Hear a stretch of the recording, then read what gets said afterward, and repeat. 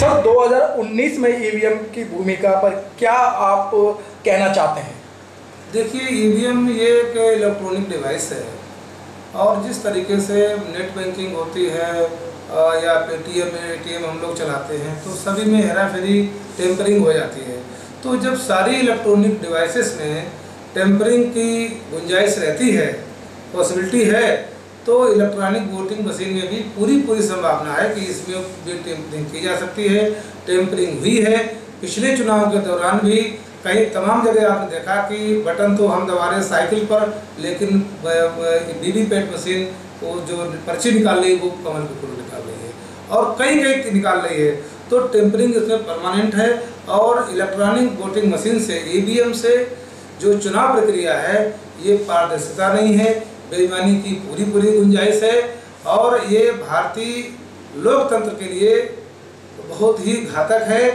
और हम लोग सब चाहते हैं, हमारी पार्टी चाहती है, हमारी पार्टी के राष्ट्रीय अध्यक्ष माननीय अखिलेश यादव जी लगातार ये कहते रहते हैं कि भारत में चुनाव ईवीएम से ना हो करके पुरानी जो बैलेट की व्यवस्था थी बैलेट की व्यवस्था लागू की जाए इलेक्शन कमीशन करे और जिससे भारतीय लोकतंत्र को बचाया जा सके। लेकिन सर अब तो पहले आप लोग ये शोर मचाते थे मशीन के अंदर गड़बड़ी है।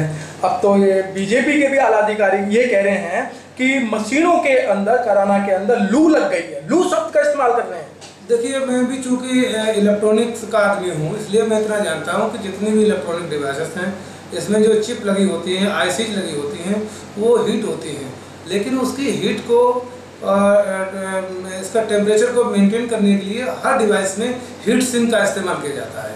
तो निश्चित रूप से जो ईवीएम में चिप लगी है, उसके लिए हीट सिंक लगी हुई है और 60 डिग्री के ऊपर तक अगर टेम्परेचर में किसी डिवाइस को रख दिया जाए तो भी वो इफ़ेक्टिव नहीं हो सकती है।